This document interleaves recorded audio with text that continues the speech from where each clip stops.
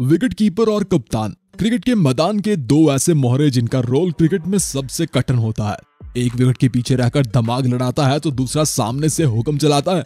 मेरी भी बचपन से ये कीपर के रोल वाली ख्वाहिश रही है, जो कभी पूरी नहीं हो पाई। वैसे आपका अपनी टीम में कौन सा रोल है जनाब?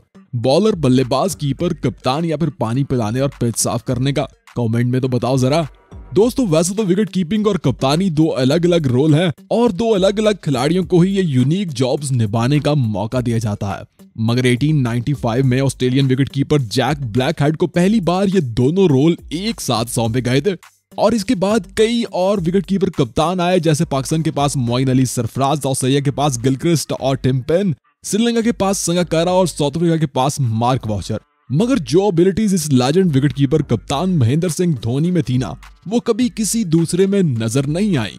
तो आज की वीडियो में हम कंपैरिजन करने वाले हैं दुनिया के सभी विकेट कीपर बल्लेबाजों का और देखेंगे कि किसके अंदर धोनी वाली एबिलिटीज नज़र आती हैं। तो चलिए शुरू करते हैं। नंबर दस। दोस्तों, इस दौर में जहाँ क्रिकेट बेहद तेज और एंटरटेनिंग हो चुकी है तो हर टीम में ही हमें एक नहीं, बल्कि कई सारे विकेट कीपर बल्लेबाज नज़र आते हैं। जैसे पाकिस्तान के पास इस वक्त चार विकेट कीपर बल्लेबाज हैं। इंडिया के पास छह विकेट कीपर है, जबकि इंग्लैंड के पास पाँच विकेट कीपर बल्लेबाज है। लेकिन जरा इन दो विकेट कीपर बल्लेबाजों को तो देखिए। मोहम्मद हारिस और आज़म खान दोनों ही पाकिस्तान के लिए डेब्यू कर चुके हैं। मोहम्मद हारिस जो कि बल्लेबाजी में इनोवेटिव है और 360 शॉट्स लगाने की एबिलिटी भी रखते हैं। और कहीं ना कहीं इनकी इसी एबिलिटीज के अंदर एबी डिविलियर्स की झलक भी नज़र आती है। वहीं अगर आज़म खान को देखें तो वो पावर हिटर है जनाब।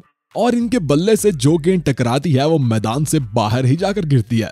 इनकी फिजिक पर मत जाइएगा, क्योंकि ये दिखने में जितने मोटे हैं विकेट के पीछे उतने ही एक्टिव हैं। मगर इन्हें पाकिस्तानी टीम में अभी तक कोई खास मौका नहीं मिल पाया। तो आपके ख्याल में मोहम्मद हारिस या फिर आज़म खान? कौन होगा पाकिस्तान का फ्यूचर विकेट कीपर नंबर नौ। भाई, वैसे तो विकेट कीपर को टीम का पायलट कहा जाता है और एक शातर और जहीन विकेट कीपर मैच का पासा भी पलट सकता है। इस लिस्ट में नौवे नंबर पर मौजूद दोनों विकेट कीपर शातर भी हैं और जहीन भी, और दोनों लेफ़्ट हैंडेड बल्लेबाज भी हैं। नौवे नंबर पर मैं कंपैरिजन करने वाला हूँ West Indian wicket keeper Nicholas Pooran और ईशान किशन का। बात करें दोनों की बल्लेबाजी की तो इसमें दोनों ही धाकड़ बल्लेबाज है। मगर ईशान किशन का पलड़ा स्ट्राइक रेट को लेकर पुरान से काफ़ी भारी नज़र आता है।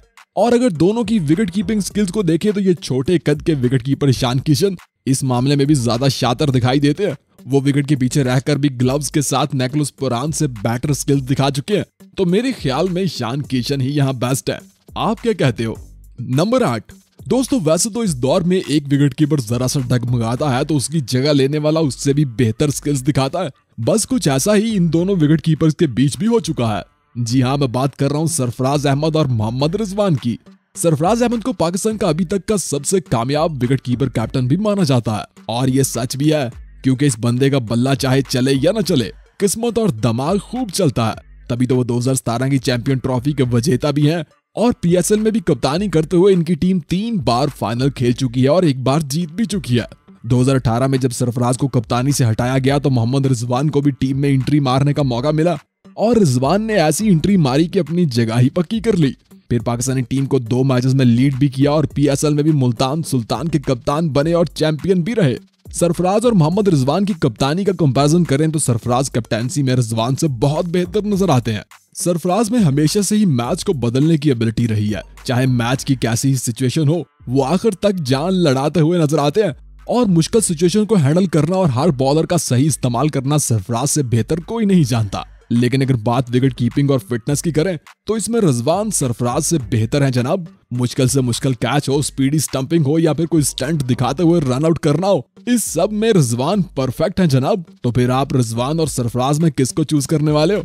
कमेंट में बताइएगा। नंबर सात। दोस्तों, क्रिकेट में कुछ खिलाड़ी हर फन मौला होते हैं। मतलब कप्तानी विकेट कीपिंग बल्लेबाजी और फील्डिंग हर चीज़ में कमाल। इस लिस्ट में सातवें नंबर पर मैंने दो ऐसे ही विकेट कीपर बल्लेबाजों को रखा है।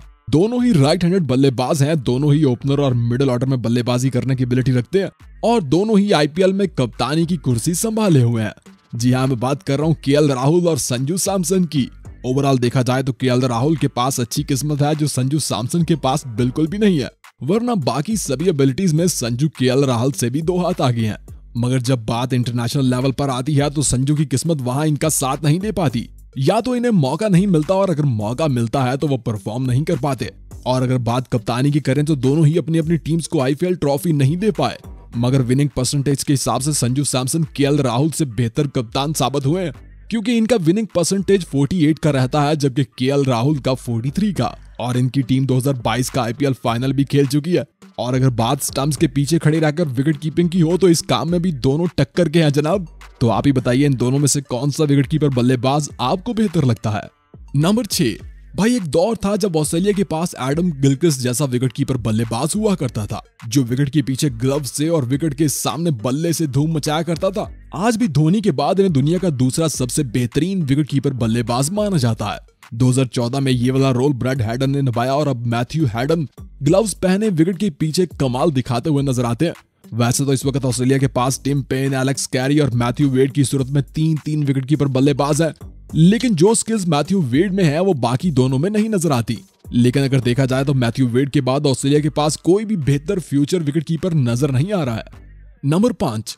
दोस्तों इंग्लैंड की टीम एक ऐसी टीम है जिसमें इस वक्त पाँच कमाल के विकेट कीपर बल्लेबाज मौजूद हैं। Jonny Bairstow Phil Salt Sam Billing Ben Foakes और जॉयस बटलर की सूरत में। मगर बात अगर जॉयस बटलर को छोड़कर बाकी चारों की की जाए ना तो इनका कंपैरिजन भी बहुत टफ होने वाला है जनाब। 2018 में जब जॉनी ब्रिस्टो का बल्ला रन उगल रहा था तो सबका ख्याल था कि वही इंग्लैंड की टीम के फ्यूचर कैप्टन और विकेट कीपर होने वाले हैं। मगर फिर सैम बिलिंग आए जो बल्लेबाजी और विकेट कीपिंग दोनों में ही जॉनी ब्रिस्टो को टक्कर दे चुके हैं। और अब जरा इस नए आने वाले विकेट कीपर बल्लेबाज फिल सॉल्ट को तो देखिए जनाब। जो टी ट्वेंटी में 160 प्लस के स्ट्राइक रेट के साथ बल्लेबाजी करते हैं और विकेट के पीछे भी इनका रडार बहुत दूर तक रेंज रखता है। तो मेरे ख्याल में आने वाले दिनों में जॉनी ब्रिस्टो की जगह ये यंग विकेट कीपर बल्लेबाज ले जाएगा। नंबर चार, भाई बाकी टीम्स की तरह न्यूजीलैंड की टीम के पास भी विकेट कीपिंग की दौड़ में इस वक्त तीन तीन विकेट कीपर बल्लेबाज मौजूद हैं। टॉम लैथम डिवॉन कॉनवे और टॉम ब्लंडल की सूरत में। मगर असल कंपटीशन तो जनाब टॉम लैथम और डिवॉन कॉनवे के बीच में चल रहा है। दोनों ही लेफ़्ट हैंडेड बल्लेबाज हैं और दोनों ही बहुत बढ़िया विकेट कीपर भी हैं। और दोनों ही न्यूजीलैंड के फ्यूचर कैप्टन भी हो सकते हैं जनाब। अभी तक कप्तानी की कुर्सी तो टॉम लैथम के हाथ नज़र आ रही है, मगर जिस तरह से डिवॉन कॉनवे का बल्ला चल रहा है, मेरे ख्याल में वो टॉम लैथम को मात दे जाएँगे।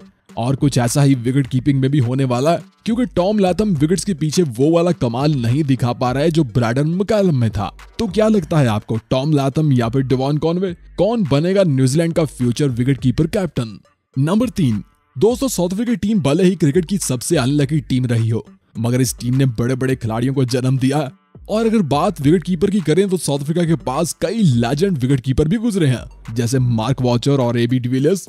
अभी भी साउथ अफ्रीका के पास क्वांटन डीकॉक और हैंनरिच क्लासन की सूरत में दो विकेट कीपर बल्लेबाज मौजूद है। वैसे क्वांटन डीकॉक में कई ऐसी एबिलिटीज हैं, जो इन्हें एक शातर विकेट कीपर बल्लेबाज बनाती हैं।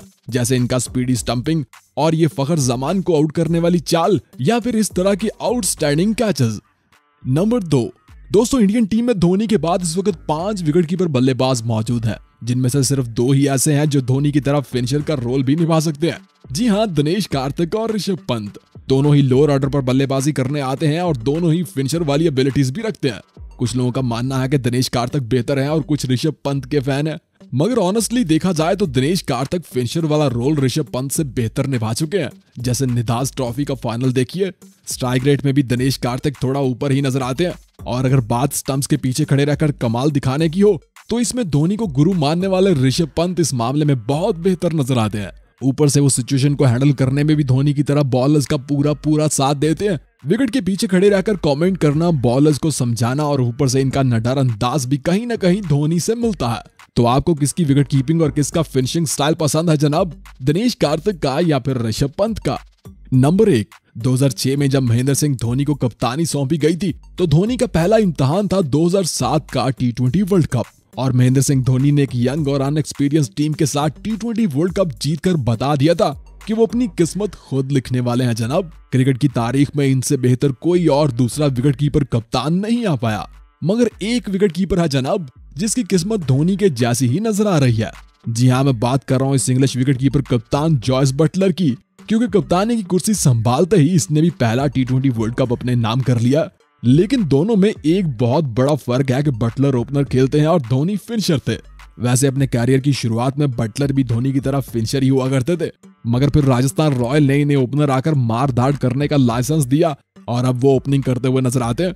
माना कि बल्लेबाजी में बटलर कमाल है, मगर विकेट कीपिंग में धोनी जैसी स्किल्स दिखाना अभी इनके बस की बात नहीं है जनाब। जैसे धोनी की रेड रेंज डाइव्स हूँ, या फिर spider sense moments predator skills हो, या फिर बैटमैन वाली एबिलिटीज शेयरलॉक वाली चाल हो, या फिर कैप्टन अमेरिका जैसा नटार अंदाज तो मेरे ख्याल में धोनी की विकेट कीपिंग स्किल तक बटलर कभी नहीं पहुँच पाएँगे। आपको क्या लगता है? कमेंट करके बताइएगा। वीडियो पसंद आए तो लाइक कीजिएगा, दोस्तों के साथ शेयर कीजिएगा और जाते जाते हमें इंस्टा पे भी हेलो हाय ज़रूर बोलिएगा।